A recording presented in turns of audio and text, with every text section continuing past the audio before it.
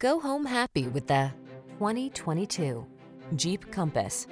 With less than 10,000 miles on the odometer, this vehicle provides excellent value. Enjoy the adventure with confidence in the Compass.